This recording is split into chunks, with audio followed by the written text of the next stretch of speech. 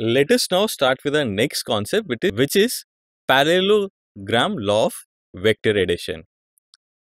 Suppose एक boy है जो कि पॉइंट ओ पर खड़ा हुआ है और ये पॉइंट ओ एक नदी का किनारा है।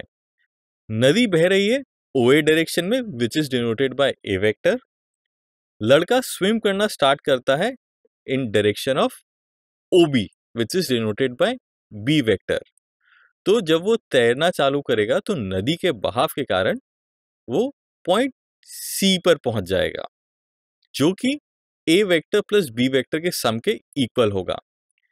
इसी को हम पैरेलो लॉ ऑफ़ वेक्टर एडिशन भी कहते हैं। ये कैसे डिराइव होता है, इसके बारे में हम आगे अभी पढ़ते हैं। अगर हम O A vector and O B vector को यूज़ करके एक पैरेलोग्राम ड्रॉ करें which can be formed as O A C B so हम लिख सकते हैं कि O A vector will be equal to B C vector दोनों पैरेलल साइड्स हैं और इक्वल होती है पैरेलोग्राम में। सो so, दोनों वेक्टर सेम होंगे। सो so, दोनों O A and B C equal होंगे। Similarly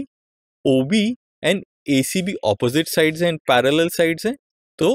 O B and A C will also be equal to B vector now, अगर हम ट्राइंगल ओ ए सी में देखें so by triangle law of vector addition हम लिख सकते हैं O A plus A C is equal to O C O A A vector के बराबर है and A C B vector के बराबर है तो हो जाएगा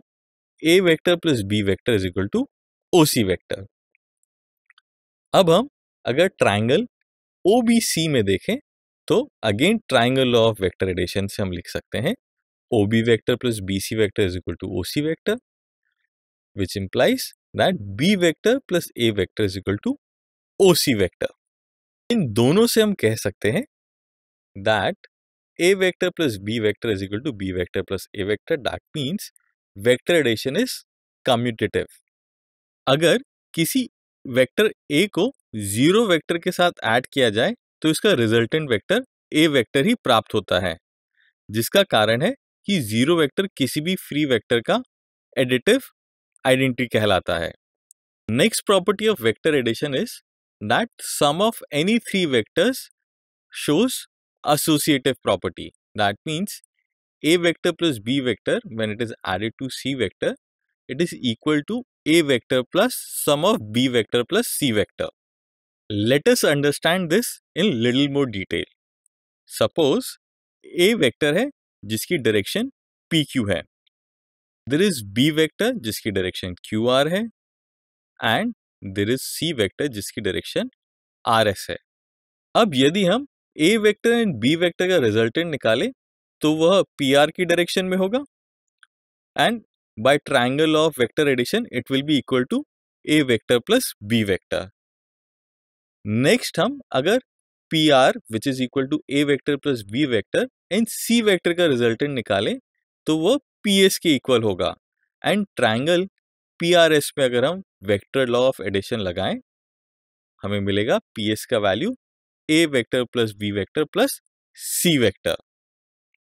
इस केस में हमने पहले A vector and B vector का रिजल्टेंट लिया है एंड उसके रिजल्टेंट को सी वेक्टर के साथ कैलकुलेट किया है। अब यदि हम इन वेक्टर्स को वापस से कंसिडर करें एंड पहले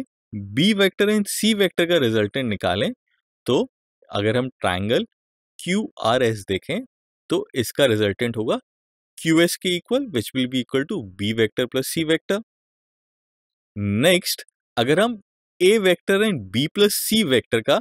रिजल्टेंट देखें तो ट्राइंगल पी क्यू एस में vector law of triangle addition लगा के हमें मिलेगा वो एस के equal which will be equal to A vector plus B plus C vector